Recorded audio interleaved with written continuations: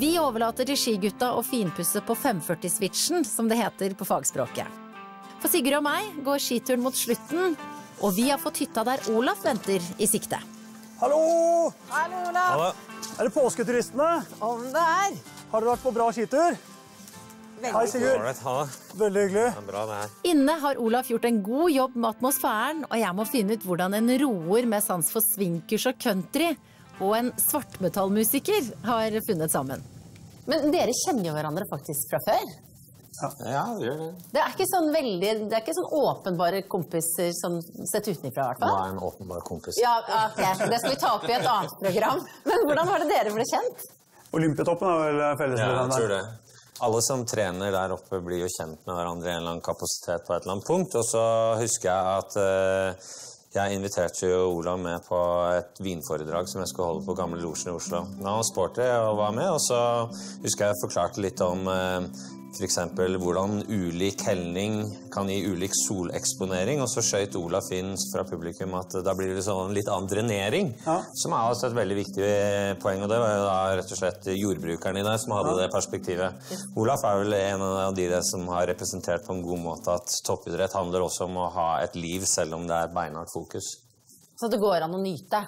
Det var akkurat det. Det er så stor forskjell på å nytte og nyte. Eh, og da har Sigurd vært med og på en måte eh, lære meg å nyte vinen og, og ta inn eh, alt man på en måte får fra det glasset. Men det er på en måte din arena. Det at du er på Olaf sin arena med Olympiatoppen og trening og sånn. Eh, har dere noe likt sånn treningsopplegg der, eller? Ja, sier jeg da. Ja. For han jo sende meg tekstmeldinger og bilder at han rapper maskinen min når jeg ikke er på plass på trening. Så han mener at han er i ferd med å overta plassen min til Tokyo. Ja, eh, det, vi er jo jevngamle. Men det er klart at eh, jeg har jo snakka med makkeren hans, og han sier at eh, han er åpen. Men, men helt sånn seriøst, kunne, altså, kunne han i den formen han er nå Men hvis jeg spør deg, kunne han trent seg opp til å bli like god som deg i roing? Hvis Sigurd hadde vil bli god til å ro, så hadde han blitt god til ro. ro. For Sigurd har uh, toppidrettshue innenfor det feltet han er. Uh, og så er det, er det noe publikum eh, vant. Det er jo ikke så ror jo. Annet enn i OL. Så vi blir skremt hver gang vi kommer til et OL med masse publikum. Blir du det, Ola? Vi er bare vant til mammaer. Noen få mammaer som heier. Han er vant til liksom 100 000 som står og hyler og skriker på ham når jeg har konsert. Det som er kult med roing Jeg har jo så, egentlig så vidt kommet litt borti det siste eh, par åra og hengt meg på noen ymse økter her og der med de gutta der. Ymse. Det, det, det, Trener du rett og slett Landslags, Nå, nå, nå, må landslagsymse. jeg, nå må jeg bare skyte inn. Liksom. Noe av det kjedeligste jeg gjør, det er å sitte på en romaskin i timevis. Det er drittkjedelig, det er drittvondt. Så sitter du altså og ror 5-20 minutter sammen med landslaget i roing, bare fordi det kunne være kult. Det er ikke kult det, Sigurd. Men det er dritkult at du faktisk gidder å gjøre det. Og det, virker, det viser jo bare hvor hard han er i nøtta, for det er faktisk både kjedelig og vanvittig vondt. Men er det sånn at du har en toppidrettsutøvers innstilling til det du holder med på på scenen? Ja, til jobben min så har jeg jo det. Ja. Og så har jeg tenkt at det som er viktig for meg ved å liksom, bruke den anledningen til, eh, som jeg har til å være rundt eh, utøvere og lederne deres, er en, bra kultur å ta med inn i jobben min. Da. Og jeg kan finne litt av det der også, men det er lettere å finne det i idretten. Det er kanskje mer selvfølgelig der. Det er en del som skal leve ut rock-klisjeene, som liker å stenge de to verdenene ute, men de har også sine motiver for å gjøre det. Kanskje de ikke orker å kjøre fem sånne 20 minutter, og da er det veldig lett å lat latterliggjøre det også. Ja, ikke sant?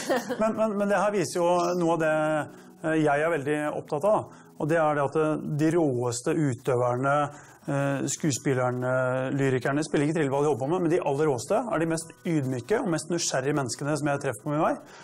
Vet du hva jeg gjør, eller? Jeg drikker vin, jeg. jeg ligger i sofaen og drikker vin av og til. Det står det respekt av. Noen må gjøre det òg. For den norske påsken dreier seg om mer enn friluftsliv, og spesielt mat og drikke. Det må jo være lov å kose seg litt når vi tar farvel med vinteren etter en dag i skiløypa eller alpinbakken. Men det er jo de færreste som har egenprodusert vin til maten. Du har jo med deg vin i dag. Ja, du, altså, du har liksom egen vin. Ja. Kjent for Selvfølgelig der også så er du litt sånn det gjør ikke noe halvveis, på en måte. Du er en nerd der, og da mener jeg det med den dypeste respekt. Altså at uh, du går liksom all in. Ja, nerd er jo positivt lada. Ja, ikke sant? Det er bra du ser det sånn. Ja. Vin blir jo mye morsommere når du går tomt inn i det. Når du starter en reise innen vin, så er det kanskje sånn at vin smaker godt, vin smaker ikke godt. Men så er det kanskje et eller annet med at etter hvert så kan du begynne å smake at den er laget på den druen, og så kan du kjenne at den kanskje kommer fra akkurat den og den vinmarken. Og da begynner du å skjønne at en vin kan fortelle en, en historie om mer enn å smake godt eller ikke smake godt. Og så følelsen av at du aldri slutter å lære. At hver gang du føler at du har kommet opp på et bra nivå, så tenker du at nei, jeg kan ikke så mye likevel. Og da er det gøy. Skål. Skål, dere. God påske. Etter pause blir det en beinhard kamp mellom to karer utstyrt med uvanlig mye konkurranseinstinkt. Vi skal tilbake til alpinbakken for siste skistunt, og i hytta skal jeg komme tettere på den mystiske satyren.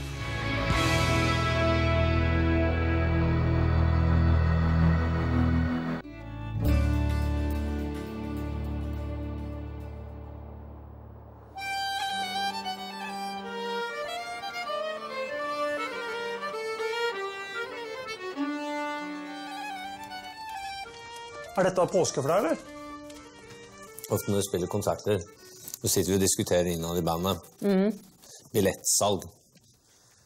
Og da er jeg han kjedelige fyren som sier at du trenger ikke å diskutere, for at jeg har tallene her. Oh ja, nettopp, ja. Ja. Eh, og når det gjelder hva vi er opptatt av eh, i påsken i Norge, så jeg kan sitte og følge med på salgstall på vin. Så det er tydelig at for oss nordmenn så er del én komme oss ut, bruke naturen på kvelden, lage noe god mat og drikke noe god vin. Mm, Men det er, det er mange som kjører eh, rødvin og potetgull og smågodt også. Ja. Det er ikke noe sånn match made in heaven, men noen gjør jo det. Kvikk Lunsj og bobler.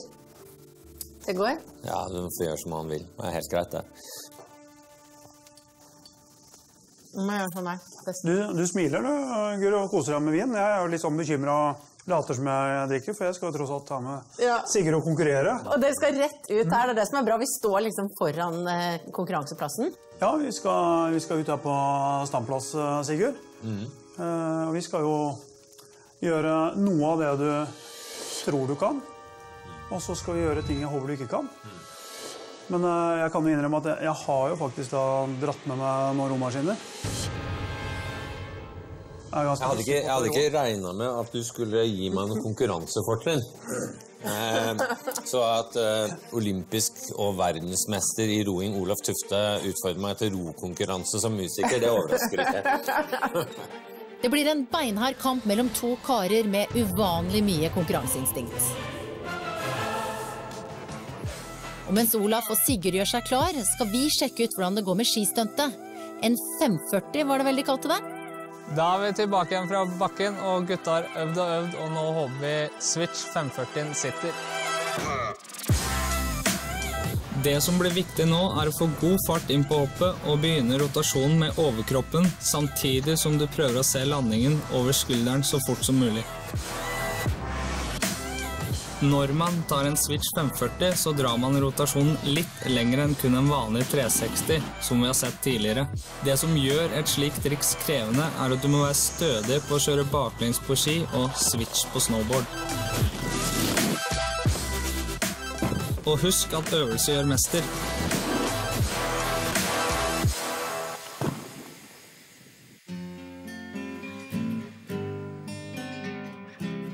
Kveldens påskenøtter skal vi fram til den andre bokstaven i løsningsordet. For å finne den må du vite hvilken norsk by som kalles Bergstaden. Svaret har fem bokstaver, og det er den første bokstaven du behøver i løsningsordet.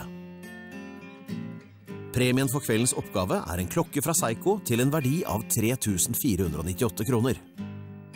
Selve storgevinsten kommer i morgen om du løser hele rebussen og finner løsningsordet. Svaret sender du inn via tv2.no. Lykke til! Sjusjøen har et av Norges beste skiskytteranlegg der verdenseliten konkurrerer. Det kan ikke være noe dårligere når Sigurd og jeg skal møtes i en litt uvanlig kombinasjon av disipliner for å avgjøre hvem som er best. Ja, Sigurd. Ja, Velkommen til Stamplass og Arena. Er du klar? jeg er veldig klar. 250 meter romaskin. fem blinker på skiskyting, uten ski, vel å merke. Rett og slett den klassiske kombinasjonen romaskin-skiskyting. Ja, ja. nye olympiske gren. ja. Og så er det antall, antall bom. Jeg regner med at vi kommer til å bomme litt. Antall strafferunder rundt din egen maskin. Kom tilbake gjennom eh, målpassering her. Er du klar? Jeg er klar. Oppvarming det er for påskekyllinger. Ja, nei, det gidder vi ikke. Fint, da går vi rett på sak. Ja.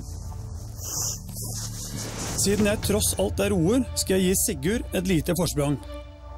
Ikke mye, men litt, så han får finjustert teknikken før jeg kommer fossende.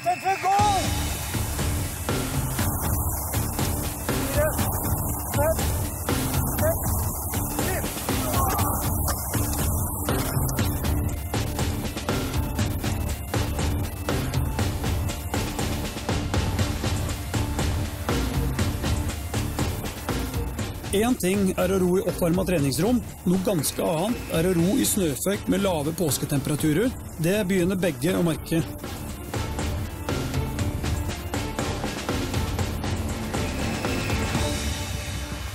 Sigurd var rask og ferdig først. Han hadde holdt forspranget, men det er først når vi skal skyte at vi merker hva det har krevd av krefter.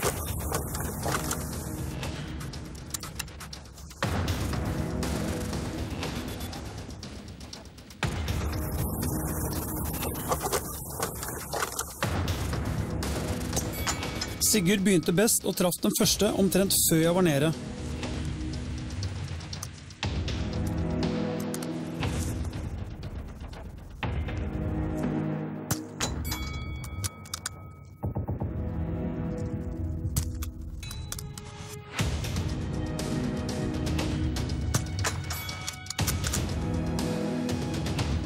Men så snudde det.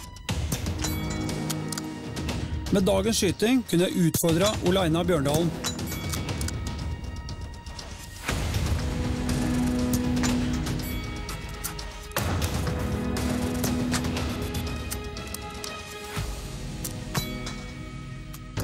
Men det gjaldt ikke Sigurd, som måtte ut i to strafferunder. Det betydde at det i realiteten var avgjort, men jeg ville gi ham en liten sjanse.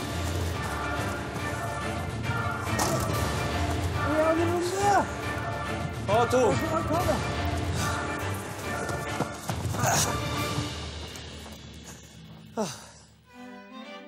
Sigurd hadde egentlig godt tak på meg til å begynne med.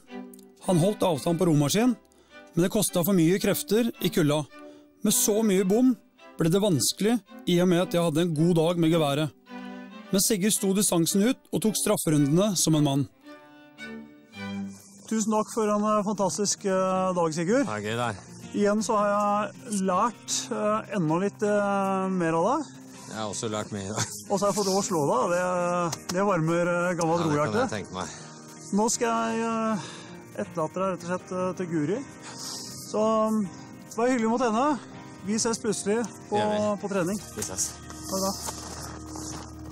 Manndomsprøven på skiskytteranlegget er over, og jeg har fått Sigurd helskinnet tilbake til påskehytta.